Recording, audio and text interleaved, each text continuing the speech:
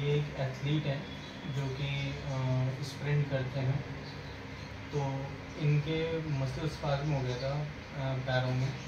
तो उसका हमने हिजामा से ट्रीटमेंट किया।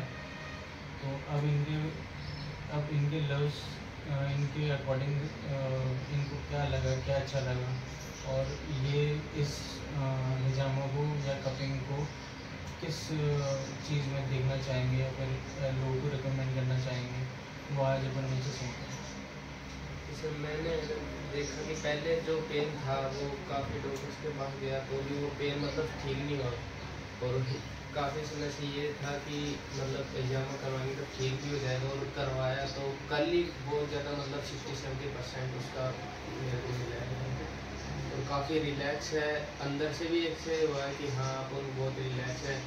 और जो ऐसे मतलब थोड़ा स्ट्रेस था अच्छा फील हुआ एकदम बढ़िया। और आज अब भी आपने किया है तो अब भी थोड़ा ऐसा अच्छा सा लग रहा है कि हाँ एकदम बॉडी एकदम लूज हो अच्छा जो आपका दर्द था वो ख़त्म हो गया? हाँ सर वो जो पैर का दर्द था वो बिल्कुल खत्म।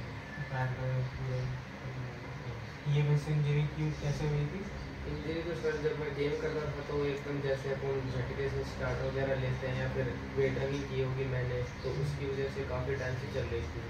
अच्छा, कितना टाइम हो गया था समथिंग इसको बीस पच्चीस दिन हो गए थे।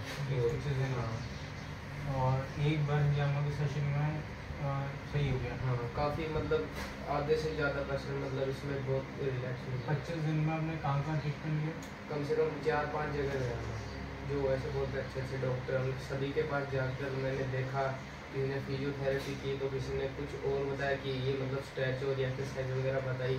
लेकिन वो सब करने के बाद कुछ नहीं हुआ लेकिन लास्ट में फिर मैंने देखा कि भाई कब थेरेपी के बेनिफिट्स भी देखे उसके तो उसके बाद में आया तो अब काफ़ी रिलैक्स वो कहाँ से पता चला इसके बारे में ये तो सर गूगल से गूगल से thank you so much for the feedback.